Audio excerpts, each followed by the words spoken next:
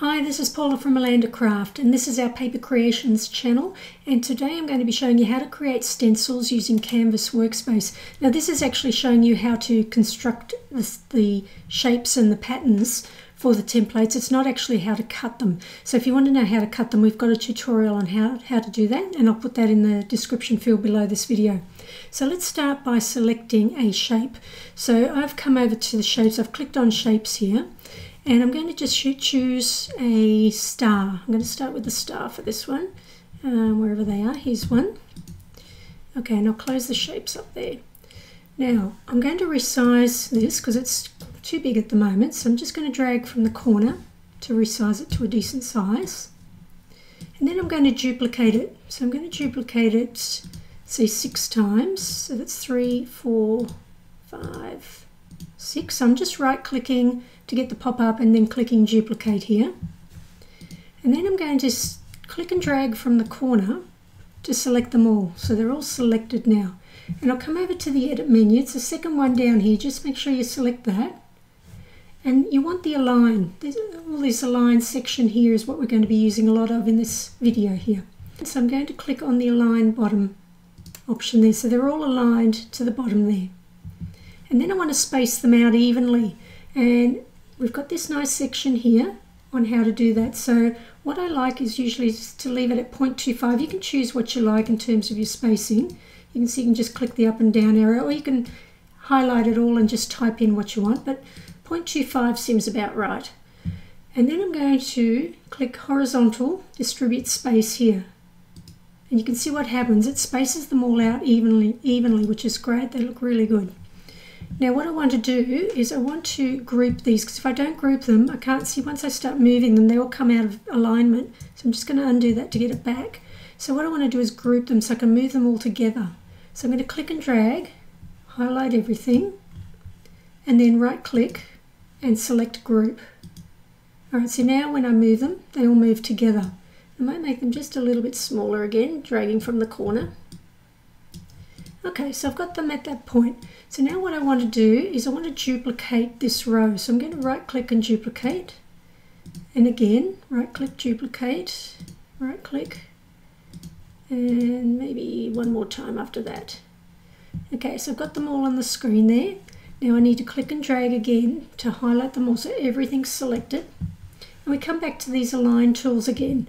So this time I want to align them to the left of the screen here. So I'm going to come over to the left align option and select that. And now we need to space them out evenly again. So again, we come down to this section and I'll leave it at 0.25. And this time I'll select the vertical option here. So I'll click on that. Okay, and they're spaced out perfectly now. So that looks great.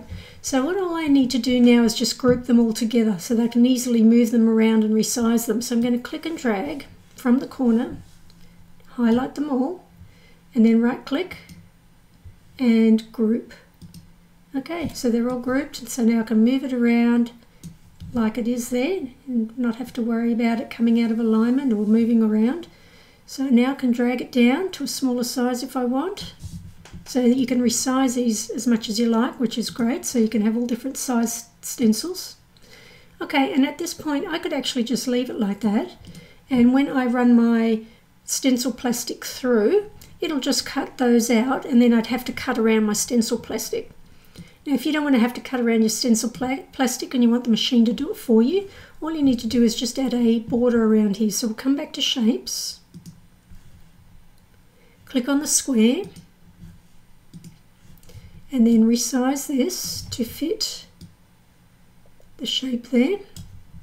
And you can align this perfectly by selecting everything. So click and drag, select it all, and then come back to align and you can align the center and then align middle.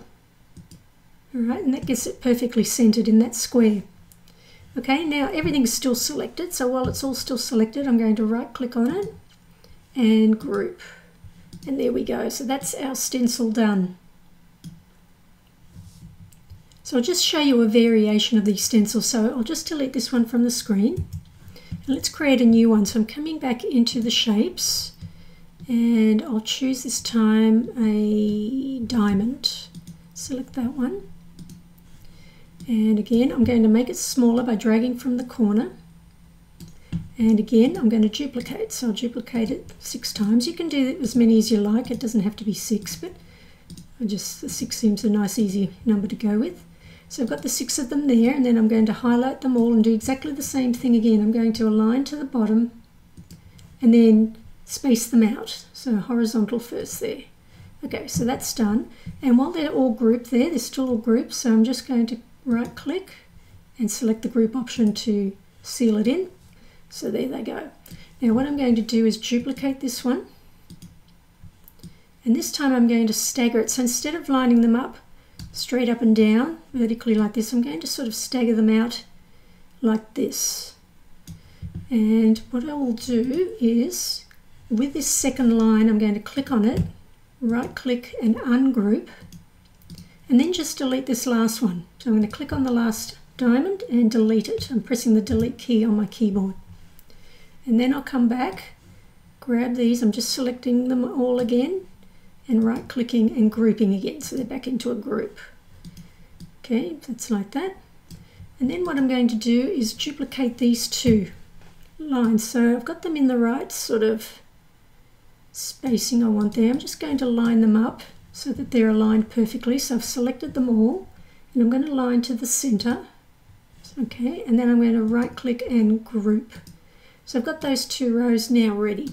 And then I can just duplicate again, place that one there, and then duplicate again. And we've got that there. All right, and again you can highlight them all and align to the middle or the center is probably the better. There we go. And then they're all selected still. So I can right click now and group. And there we go, so that's done. And again, you can add the rectangle around or the square around it if you wish. Otherwise, you can just leave it as is. So it's up to you on what you want to do there. So just remember you've got a ton of shapes to work with here and you don't have to work with just the standard shapes here. You could go with borders. You can use, put you know, multiple borders in, put one in and then duplicate it and add another there like that underneath it and so forth or stagger it out, making all different sort of designs. And you've also got words here. Words can work as well. Just depends on the words, but some words, if they're all sort of joined like this, they work beautifully as a stencil. So I hope you enjoyed that tutorial. If you did, give us a thumbs up. It really helps our channel. And don't forget to subscribe for more Scan Cut videos.